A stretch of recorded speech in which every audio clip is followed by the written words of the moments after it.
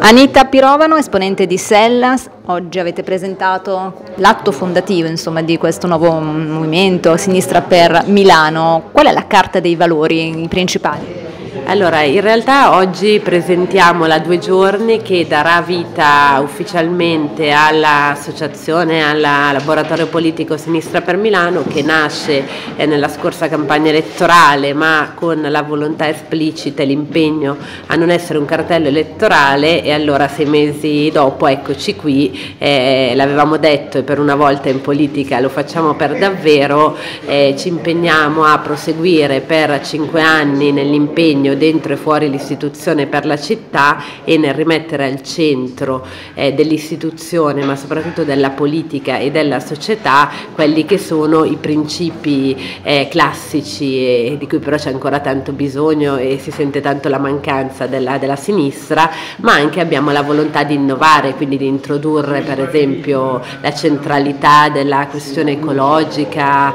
e dell'ambiente, della eh, non consumare più il nostro suolo, della porsi l'obiettivo di stili di vita e di consumo che siano per davvero sostenibili, poi ci sono i valori dell'antifascismo, eh, c'è la centralità della cultura e c'è poi la volontà di non mettere al centro eh, quelle che sono un numero limitato di priorità, ma di mettere al centro le persone. E le persone sono tante e diverse, quindi ci sono gli adulti, ci sono i bambini, ci sono le donne, ci sono gli uomini, eh, ci sono gli eterosessuali, ci sono gli omosessuali e la politica che ci piace, la sinistra per Milano che vogliamo costruire è, è capace di rispondere a tutti quanti i bisogni, a tutti quanti i desideri delle persone. Questi punti nel programma di Sala non sono sufficientemente toccati secondo lei? No, assolutamente c'erano e ci sono anche nell'amministrazione, cioè c'erano nel programma elettorale e sono in questo momento al governo della città, però noi siamo una delle componenti e vogliamo dare il nostro ruolo e farlo in maniera proattiva da protagonisti